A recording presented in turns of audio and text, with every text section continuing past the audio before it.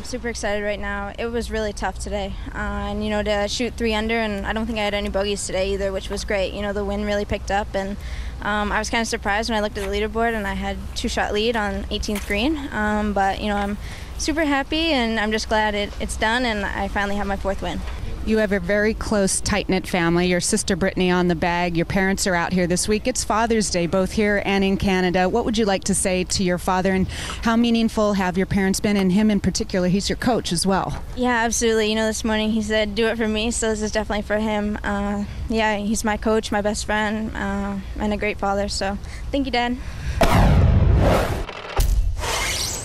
There's been changes in Brooke's life off the golf course. We've talked about that on Golf Talk Canada. And sometimes maybe we put a little too much pressure on a 19 year old. But uh, does this bounce the season around for Brooke? Is this now a springboard for the summer? It's going to be a busy summer on the LPGA Tour, especially for Brooke Henderson. Yeah, she's actually taking a week off this week. Amazingly, that's like the first week she's taken off. I think where she's missing a tournament. Uh, but she, but she does have uh, some made some changes in the bag. She's been going back and forth between putters to try and find something that's working for her. That's been the one frustrating part with her. When I talked to her at the uh, Manulife a couple of weeks ago, she was just agonizing over why she couldn't get the ball in the hole. She settled on a nice Ping Craz-E putter that, that she kind of used for most of last year as well. But she's got her defense of her PGA championship coming up in a week, so we'll see. She's got still got four majors left this year. She's in good shape to have a even better year than last year.